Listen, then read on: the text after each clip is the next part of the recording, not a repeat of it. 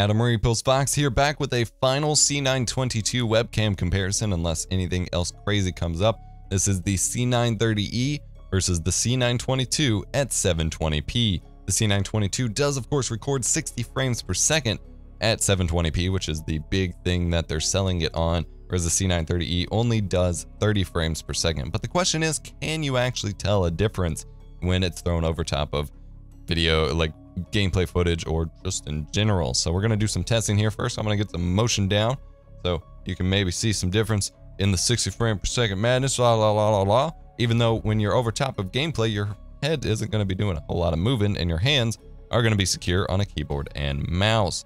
So let's go ahead and do a pixel peep here. I'm going to get really close and really far away. Is normal. Up close really up close.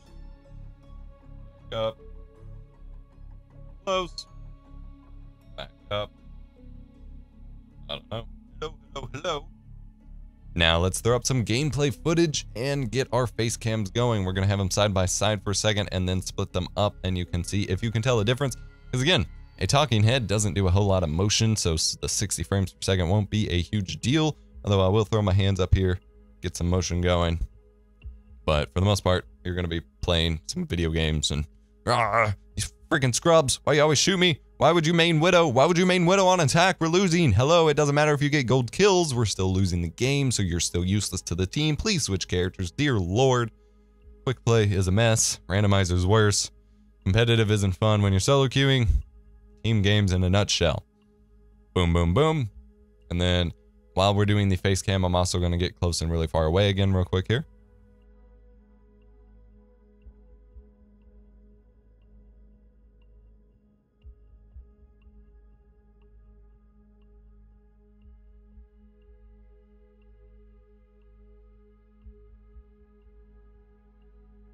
All right, so that's going to be it for this video. Real quick, if you don't know my setup for this, if you haven't watched all the other videos, but everyone wants to demand I make changes to my setup, so this is a true studio setup. I have two video bulbs in China balls, providing soft white light from all directions. Webcams mounted side by side at basically the same height as far as I could get on a monitor here in the middle, and recording two separate computers at 200 megabits per second using NVENC from NVIDIA in OBS Studio. Hope you enjoyed the video. Smash the like button if you did. Get subscribed for more awesome tech videos. Uh, check the YouTube card icon or description down below for a playlist where I have a lot of other webcam comparisons.